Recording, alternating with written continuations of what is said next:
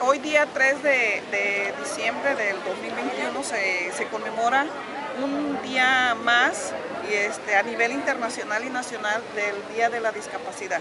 A mí me da mucho gusto ver cómo las instituciones del gobierno municipal, que es Desarrollo Integral de la Familia y Unidad Básica de Rehabilitación, hoy este, se han hermanado con el nivel de educación especial para darle realce a este festejo pero también hacer un recordatorio que las personas que, tienen una discapacidad eh, tienen derechos.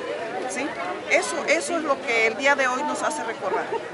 Que ellos tienen derechos y que esos derechos tienen que ser atendidos por la sociedad y por los gobiernos.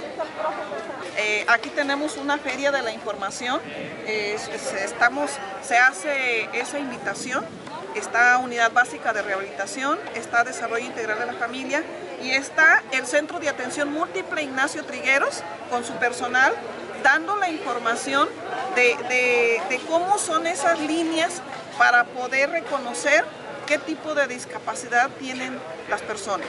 Pero más que nada, cómo hacer un diagnóstico, cómo confirmar esa discapacidad y el tipo de atención que requiere. Decirles que el día 3 de diciembre, Día de la Discapacidad, es un día para recordar que dentro de nuestros núcleos sociales hay personas con barreras de aprendizaje, con barreras para incluirse, que padecen una discapacidad, pero que es papel de la sociedad poder disminuir esas discapacidades, poder disminuir eh, las limitantes más bien que ellos tienen para poder ser incluidos.